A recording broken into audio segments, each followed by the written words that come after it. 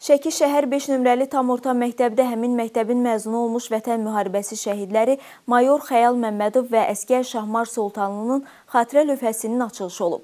Tədbirdə məktəbin müəllim şagird kollektivi, şəhid ailələri və ictimaiyyət nümayəndələri iştirak ediblər. Çıxış edənlər qəhrəman şəhidimizin şərəfli ömür yolundan bəhs edib. Onlarla bağlı xatirələrini bölüşüblər. Vurğulanıb ki, şəhidlərimizin xatirəsinin əbədləşdirilməsi gələcək nəsillərə tanıdılması baxımından mühüm əhəmiyyət daşıyır. Sonda şagirdlərin ifasında ədəbi bədii kompozisiyalar nümayiş etdirilib. Ardınca şəhid Şahmar Sultanlı və Xəyal Məmmədovun xatirə lövhəsinin açılışı olub. Su kimi söndürərəm, məni yandırsan.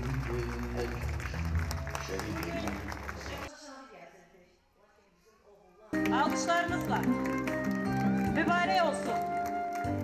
Təbii ki, bizim üçün qürur verici bir gündür ki, məktəbimizin məzunları olmuş şəxslər vətənimizin bütövlüyü uğrunda canlarından keçmişlər. Məktəb təlim-tərbiyə ocağıdır. Yalnız təhsil verməklə deyil, eləcə də tərbiyələndirməklə, şagirdlərini vətənpərvərlik ruhda yetişdirməkdə məsuliyyətlidir.